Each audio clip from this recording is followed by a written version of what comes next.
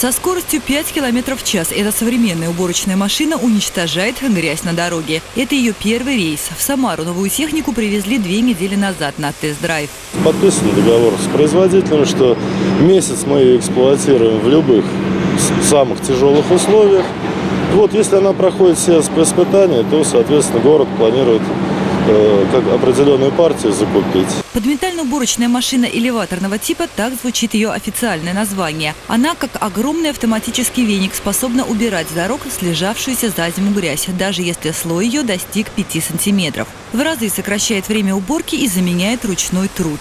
Разработка отечественная. Плюс в том, что ремонт такой машины не влетит в копеечку, в отличие от импортных аналогов. Горожане новинку уже оценили.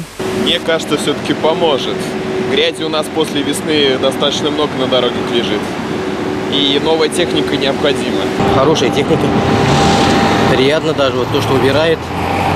И не только убирает, там и, там и вода, и вот эти щетки, все там и смывает, и подбирает грязь заодно. С одного квадратного метра такая спецмашина собирает до 700 граммов грязи. Для сравнения, уличные пылесосы, которые сейчас работают в городе, могут втянуть почти в 4 раза меньше пыли. Уборочная техника элеваторного типа достойно показала себя в других регионах. Теперь технологию перенимает и Самара. Марина Кравцова, Валерия Макарова, Станислав Левин. События.